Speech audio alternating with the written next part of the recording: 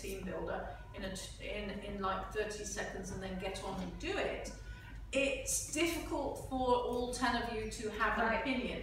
What I've, I've done in the past with big groups is we've taken it in turns to have two or three ideas people, and it's their turn that day to be the ideas person.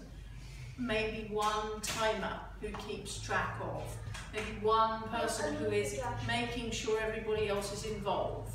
Um, you know, so it's it's roles. Okay.